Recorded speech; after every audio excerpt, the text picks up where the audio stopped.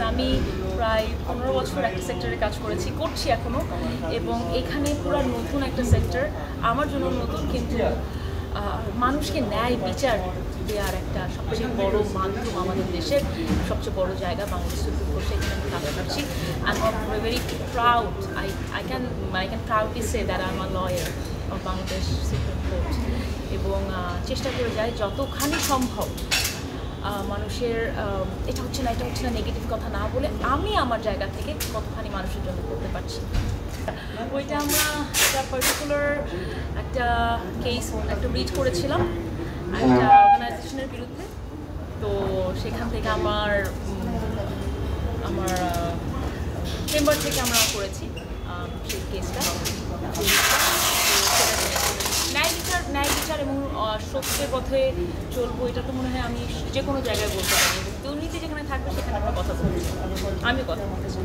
আজকের কথা বলি, পুরো একটা কেস নিয়ে আমি অনেক দিন ধরে নিজেকে রেডি করছি। তারপরে যেও মনে হচ্ছে এটা এটা জানি না, সাথে যাওয়া সিনিয়রদের সাথে কথা বলা। এরকম এখন আমি বুঝি দ্যাট সবাই অ্যাডভোকেট বা ব্যারিস্টারদের লার্নেড কেন বলে?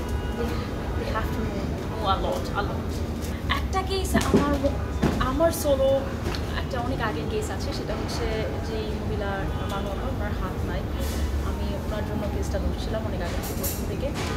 ওইটা ওইটা একটা অবস্থায় আছে। ইনফ্যাক্ট ওনার মেডিকেল সার্টিফিকেট ছিল না বলে ওটা কোর্ট থেকে খারিজ করে দিয়েছে। এবং এটা নিয়ে আমরা আবার আমরা আবার এটা নিয়ে লড়বো। এবং আমি কোন কোন, আমি আরও এখন তো হাইকোর্টে আছি, এখন অনেক কেসেরই তো হিয়ারিং করতে কাজ করছি। বাট যদিও নতুন যখন আমার মনে পড়ে, যখন আমি প্রথম প্রথম মডেলিং শুরু করেছি র্যাম্পে হাঁটার আগে হাই হিল পরে হাঁটার আগে মনে কি এক্ষুনি পড়ে যাব। বা এক্ষুনি এত নার্ভাস লাগতো। ঠিক যখন আমি জাজের সামনে যাই হিয়ারিং করতে যাই, আর মানে এক্ষুনি উল্টাপাল্টা একটা কথা হয়তো বা ভুল কিছু বলে ফেলব।